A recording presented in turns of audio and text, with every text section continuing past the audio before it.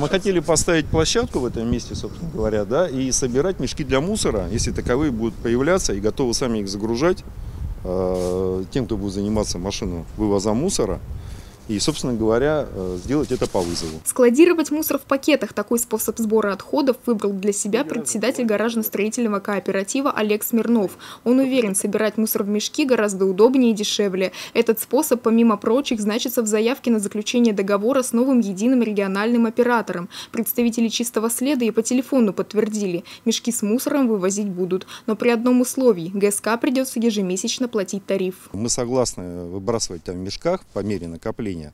Но в этом случае, как нам сказали, в чистом следе нам а, будет необходимо платить по тарифу. И неважно, вывозим мы этот мусор, не вывозим мы этот мусор, но оплатить должны.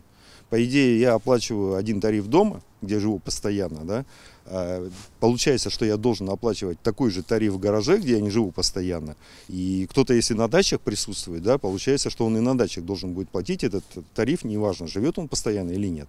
Но, судя по информации областных чиновников, начислять тариф будут только по конкретному месту регистрации человека. Как будут вести перерасчет, если череповчанин лето проживет на даче, пока не ясно. Что касается ГСК, руководство чистого следа, несмотря на развернутые бланки заявок, уверяет, региональный оператор будет забирать мусор только из контейнеров или бункеров, а платить собственники будут за количество вывезенного мусора. В договоре будут указаны значит, э, все варианты оплаты, но как правило, она происходит по факту. То есть э, сделали нам заявку, допустим, если нет графика, либо э, был график, то есть мы выставляем счет э, в конце отчетного периода. То есть сколько вывезли, за этот объем мы будем выставлять согласно единого тарифа.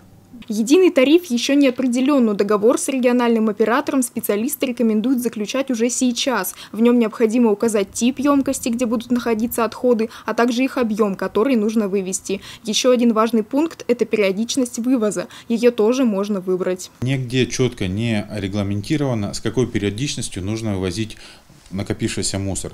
Это может быть и раз в месяц, это может быть и раз в квартал, может быть и раз в полугодие, потому что есть у нас кооперативы достаточно с большим объемом э, гаражных боксов, есть очень маленькое количество гаражных боксов. Поэтому вот эти отдельные моменты нужно решать в индивидуальном порядке. Какая структура будет контролировать наличие и благоустройство контейнерных площадок и бункеров, на сегодняшний день еще обсуждается. Но точно известно, что за отсутствие емкости для мусора владельцам гаражей грозит штраф до 100 тысяч рублей. К слову, об административной ответственности и обязательстве оплатить вывоз мусора руководство регионального оператора напоминает всем, кому адресует свои письма. Татьяна Федянова, Анатолий Холин. Новости.